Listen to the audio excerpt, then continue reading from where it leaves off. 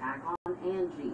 So Or is this virtual tomorrow? City in Nevada Yeah. investigated Oh, okay, okay. For questioning. Yeah, it's gonna be lit though. Fire emojis, fire emojis, fire emojis, fire emojis.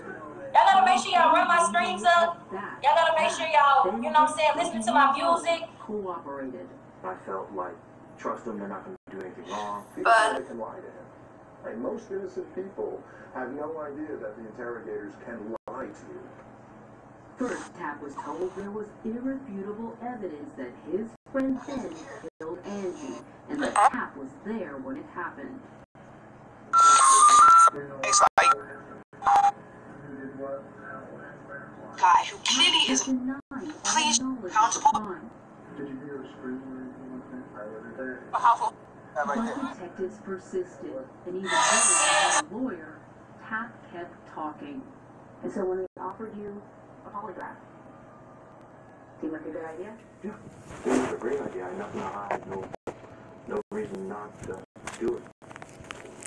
Hey, what's up? What's good? I can't even show y'all. Accepted, and detectives promised him 40 years jail time in exchange for as long as he hadn't participated in the actual murder. That's when Tapp says he started telling police what he thought they wanted to hear. No, you sure Ben's there? Oh, I did? Yeah, yes, okay. Tapp told detectives he was there when Ben killed Anna Dodge.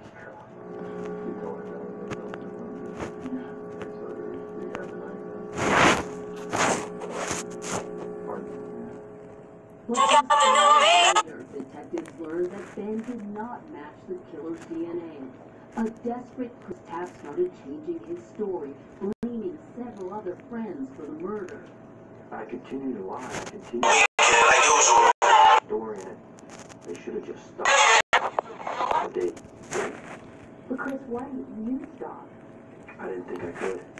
When none of the men he named matched the DNA, Tapp said police still refused to let up.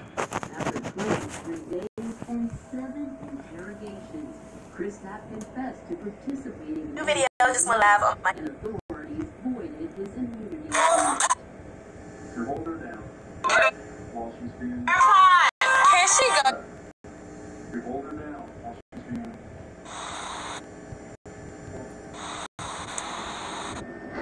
That's what was the end of it all. That's what brought me to prison. Authorities have repeatedly dismissed Tapp's claims of a forced confession until an astonishing discovery which that was out. Got a lot of good work never before seen videotapes of seven polygraph exams administered to Chris Tapes that convince even Carol Dodge that Chris Tapp is innocent. It's on my face. Basically, It's hot as fucking Phoenix right now. Yeah, Carol gonna do took on a. Elon motherfucker. her daughter's murder and find the killer who left his DNA, even if it turned out to be a member of Michael Usry's family.